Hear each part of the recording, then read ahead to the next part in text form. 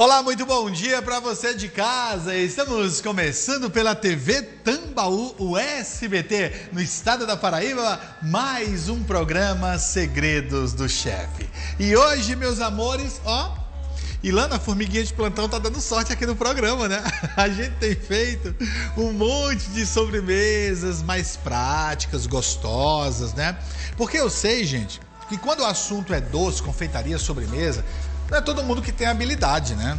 Então é bom a gente criar algumas coisas que você consiga fazer de maneira mais prática, né? Por exemplo, hoje nós vamos fazer uma releitura daquela torta de limão que a gente já fez outro dia. A gente vai fazer a tortinha de limão.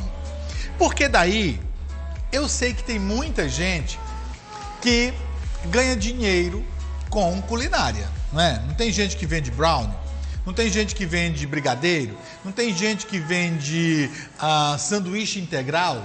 Falar nisso, gente, tinha uma época era uma febre essa coisa de sanduíche integral na faculdade, né? Todo mundo vendia sanduíche integral. Impressionante, né? Agora, você pode também fazer tortinhas de limão gourmet numa apresentação diferente daquilo que você geralmente está acostumado a ver. Agora, claro, com muito mais sabor também. Né? Então é isso que a gente vai fazer para você hoje, né?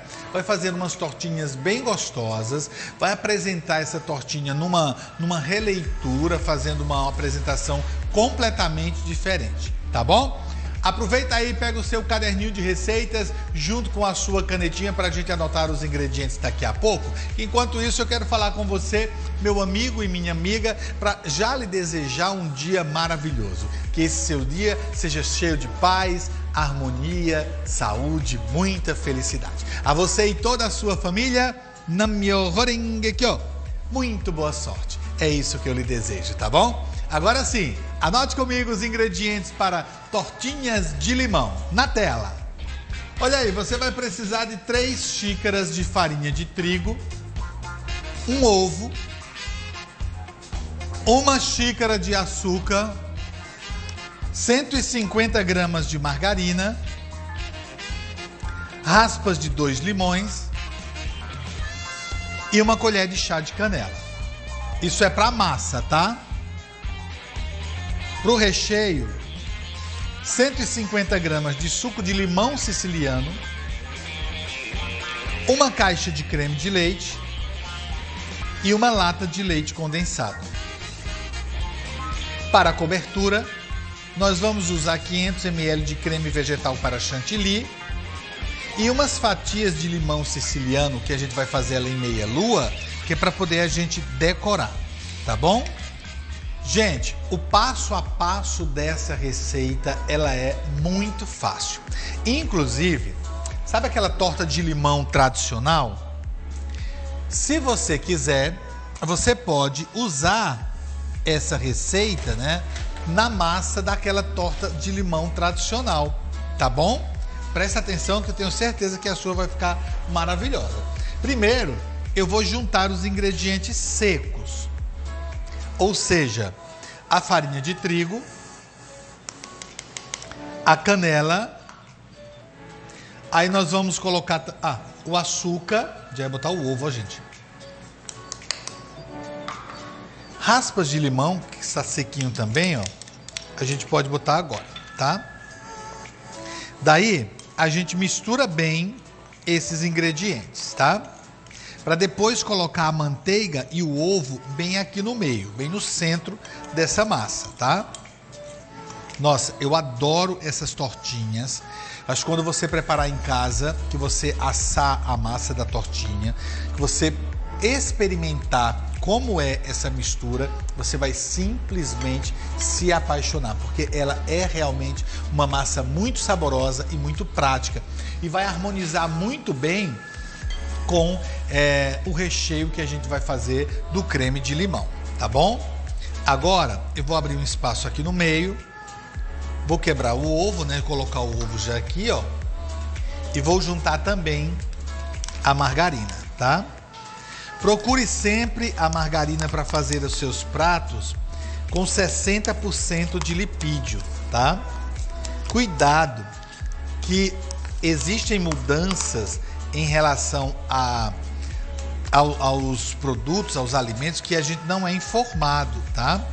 Então, cuidado essas margarinas com adição de amido, né? Leia direitinho se tem farinha, tem amido, não.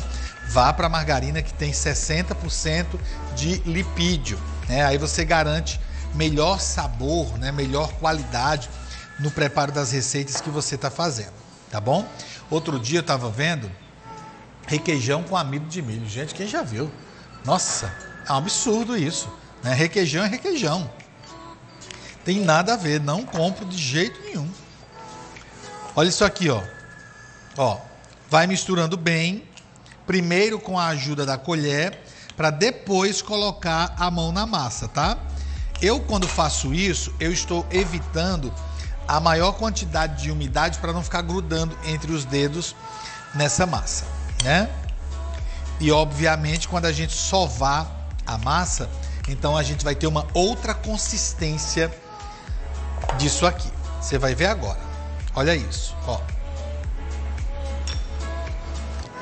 Quando você começa a sovar, aquela parte que você viu que estava solta, ela vai juntando imediatamente, né? Porque aqui você distribui melhor a margarina, tá? Ó.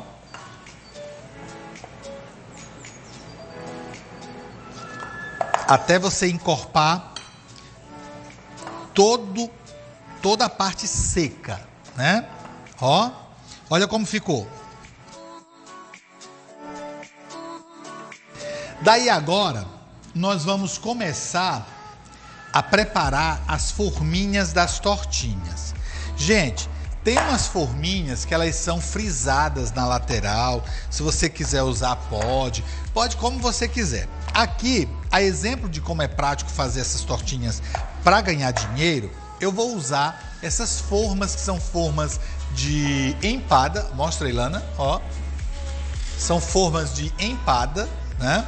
E de empada grande para poder a gente fazer uma tortinha legal, né? Não é aquela empada gigante, mas é uma empada grande. Aí eu vou colocar ó, um pouco de massa aqui e a gente vai espalhar com os dedos assim. Espalha bem. Pegar aqui uma faquinha. E a gente vai tirar o excesso de massa, tá? Olha que bonitinho. O que, que a gente precisa fazer? As casquinhas para a gente poder rechear. Então você já parou para perceber que isso que a gente está fazendo aqui é uma casquinha de massa, mas que vai virar um biscoito de limão siciliano? que a gente preparou, amanteigado, bem gostoso, com as raspas do limão, ovo, tudo. Pois é, gente. A ideia é exatamente essa, que a casquinha das nossas tortinhas tenha um sabor especial de limão siciliano. Por isso que nós preparamos como se prepara a massa de um biscoito amanteigado, tá? Daí você vai encher ou você vai, na verdade, preencher todas as forminhas que a massa der, né? Essa massa aqui a gente já fez, ela dá de 12 a 15, né, tortinhas essa quantidade. Você pode ficar tranquilo, é só você não deixar também a massa muito grossa, tá, gente? Porque tem gente que põe a massa, fica tão grossa que não cabe nem recheio direito dentro da tortinha. Ó, tem um montão de massa aqui e nós já fizemos três ali tranquilas, tá? Vamos fazer o seguinte, enquanto eu fico agora montando essas massinhas, você vai comigo no intervalo comercial. E quando voltar, Aí a gente vai mostrar essas massas prontas. Ah, a pretexto. Depois que você colocar a massa na forma, você vai levar ao forno por aproximadamente uns 20 minutos. 20. Esse pode marcar de relógio. Forno de 200 graus, 20 minutinhos, tá? Depois você pode tirar, deixar a massa esfriar para a gente poder colocar o recheio. Mas eu vou mostrar tudo isso no próximo bloco para você. Não sai daí. que sábado tem. Programa da Maísa!